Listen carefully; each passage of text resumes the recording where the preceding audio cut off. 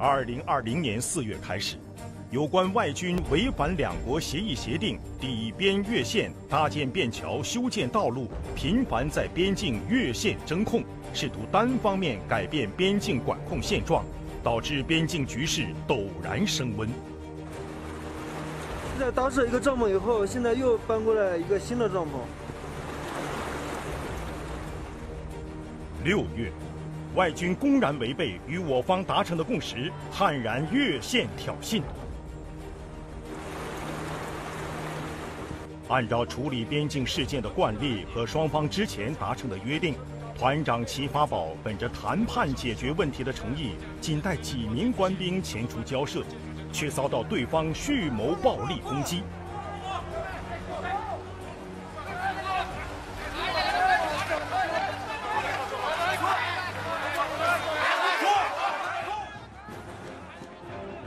齐发宝组织官兵一边喊话交涉，一边占据有利地形，与数倍于己的外军展开殊死搏斗。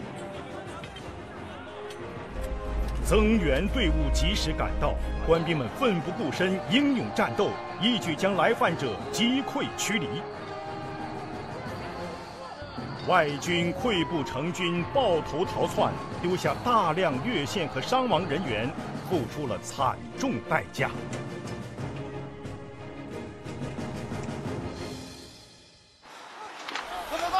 按着，头上按着，我注意按着。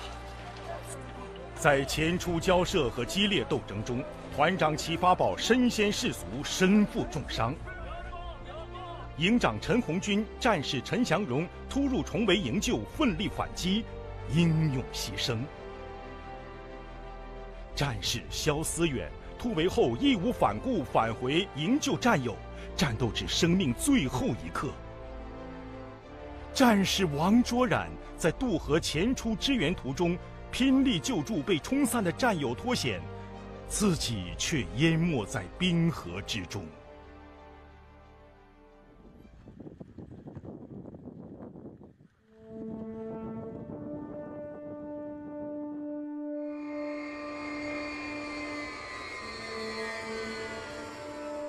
这些英雄的边防官兵，把青春、鲜血乃至生命。